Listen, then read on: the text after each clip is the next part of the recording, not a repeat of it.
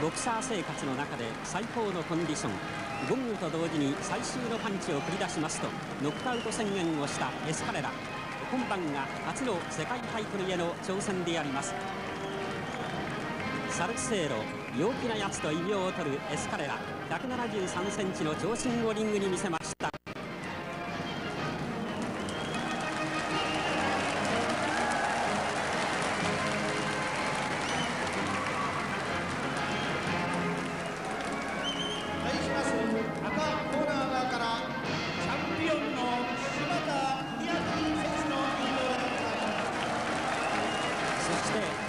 梅原の国旗を先頭にいたしましてチャンピオン柴田が入場いたします。ふるさとでの世界戦だけに気合が入ります。チャンスがあれば1ラウンドで倒しますと闘志満々。日本人として最高の12度目の世界タイトルマッチ。しかも今晩は世界タイトル通算7度防衛の日本記録をかけて対戦いたします。大歓声に送られて柴田が今リング下で十分に足の滑りを止めまして今登場いたしました。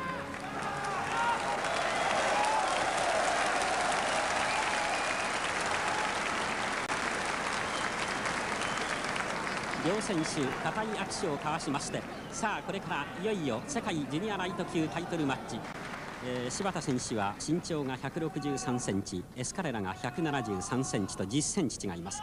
えー、リーチは柴田が160.5センチエスカレラが180センチと、まあ、20センチ近く違うわけですよね、え。ー、まあ、それを、まあ、左のジャブあんまり打たないと思いますけどね、えー、うまくかいくぐって懐に入ることですね柴田君は。さて両選手の紹介です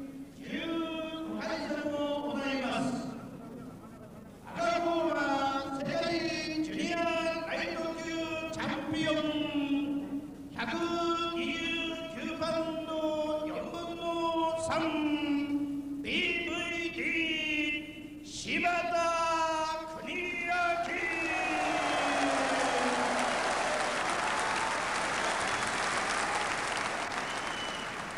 青コーナー挑戦者世界ジュニアライト級8位128パウンド4分の3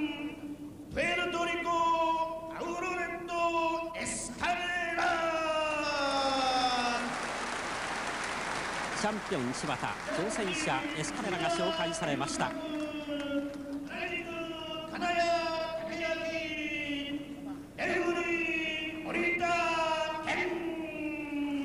今晩のレフリーはご覧の森田健ジャッジが吉田優作と金谷武明であります。なお今晩の試合採点法は10点法であります。そして日本製の6オンスのグローブが使用されております。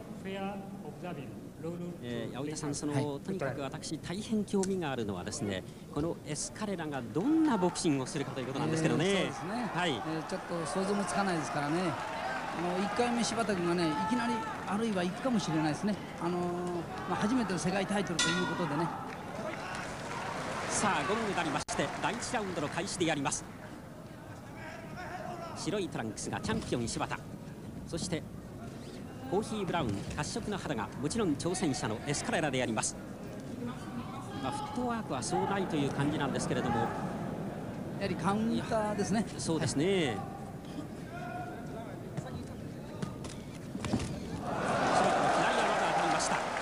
中間距離にいては八百さんまずいですよね。少し中へ入ることですね。はい。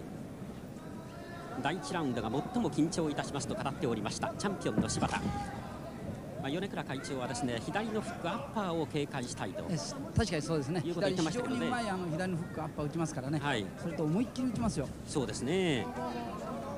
この辺りは慎重でやります。ですからでもほとんどパンチを出しません。左のジャブストレートはそうスピードはないようですね、ね、おっと左。柴田の左に当たりましたれともう一つその米倉会長はですね、はい、エスカレラの右はの振りが大きいしスピードがないんで柴田は食わないだろうということを言ってましたね、ね、柴田君左を打った場合ですね左をまっすぐ下げてくるんですよね、はい、左のガードが開きますからね。それを気をつけないしならないですね。あそうですね、はい、これはエディ・タウンゼントトレーナーも盛んに柴田に注意を与えておりました。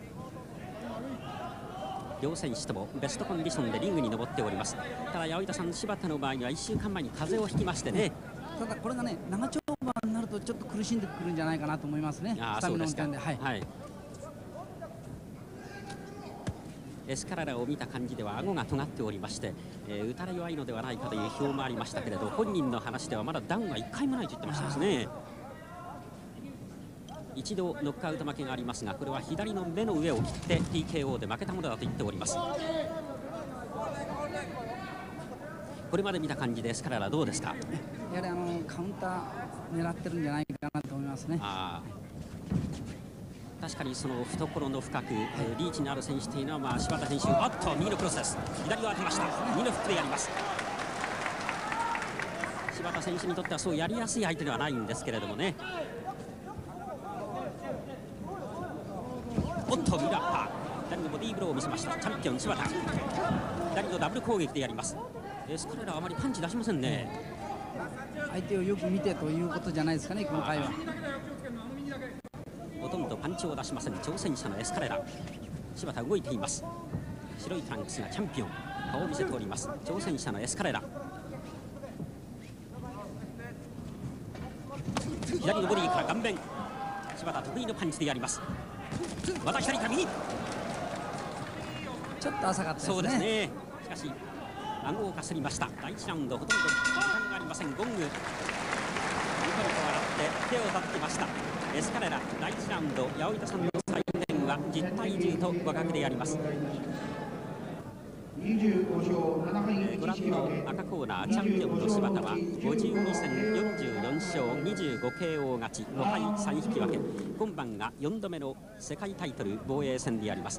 もちろん通算防衛記録7回という記録がかかっております。さて試合は第2ラウンドに入りました。柴田選手は好不調の目安としてその上半身がよく動いている時は好調だと言われるんですが第1ラウンドを見た感じで柴田選手はどうですか？あ山口さん。のいいですね。それとね柴田君のいい時はですね、はい。上半身を前へ倒してフック打ちました。そうですね。今山口さんの柴田の左のフックが当たりましたね。ね。いいですねちょっとやはりあの、はい。体重を後ろに持ってきますとね左のフックが遠くなりますからね、はい。えーあのフック打つ場合ちょっと前へ前へかかって左のフック打つと非常によく当たるんですよね。なるほど。しかしエスカレラも思い切ったの右のアッパーカット振ってきましたが、これが当たると怖いですね。そうですね。ですから1回と2回あまり変わらないですねこれまでの世界タイトルマッチでは柴田選手が非常にコンディションのいい時にノックアウト負けをしているだけに米倉会長もその点を大変に心配しておりましたがさて今晩はどんな試合を見せるでしょうか。柴田の生まれ故郷日立市から、えーおよそ車で15分ほど離れました笠松運動公園体育館からお送りしております。おっと右のカウンター。そうです怖いですね。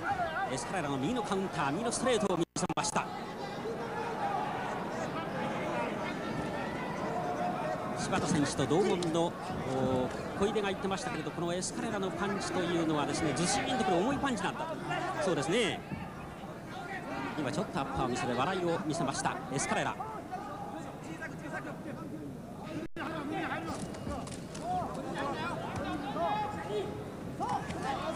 スピードは、はい、接近戦下手ですね。そうですね。あまりあの接近戦はうまくないと思いますね。はい。柴田が中間距離にいるとちょっと危ない距離でやりますが。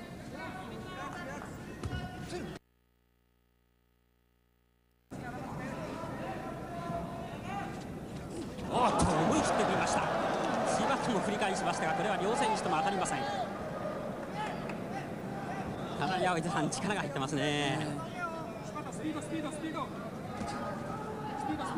盛んに赤コーナーチャンピオンコーナーから柴田スピードスピードという声が飛んでいます超満員の運動公園体育館。2000入っ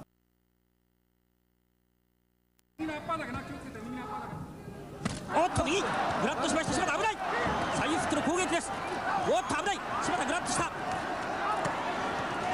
と危ない柴田危ない柴田危ない柴田書いています激しい攻撃ダウンダウンですね柴田ラウンでやります大無実になりましたさあどうか柴田立てないカウント6 7 8 9ノックアウトでやります